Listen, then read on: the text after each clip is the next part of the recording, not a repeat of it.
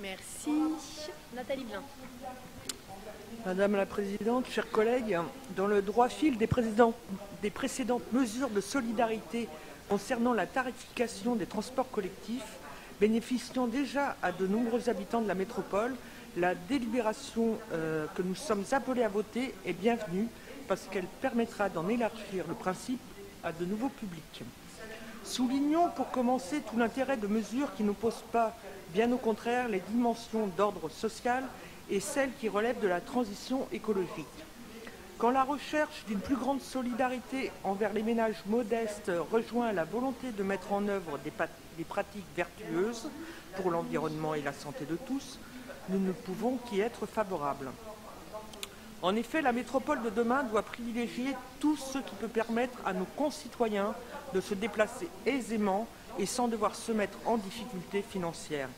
Il s'agit de se rendre au travail ou en formation, chercher un emploi, faire les achats du quotidien, pratiquer des loisirs ou encore circuler pour les activités scolaires et extrascolaires des enfants.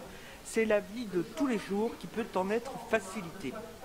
Bien entendu, la diminution des recettes consécutives à la baisse du montant des versements transport par les entreprises décidés par l'État et l'élargissement de la réduction des tarifs ne doivent pas porter atteinte aux nécessaires entretiens et investissements des transports publics, notamment en termes d'accessibilité universelle, de fréquence et de densité de réseau. D'autant plus que les charges d'énergie pour la TAN vont fortement augmenter.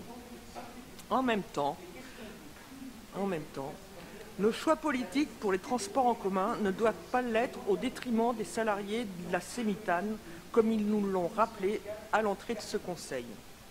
Alors nous avons besoin d'augmenter nos recettes pour financer ces choix politiques volontaristes. Trouver le moyen du développement du nombre de voyageurs peut en être une piste de réflexion.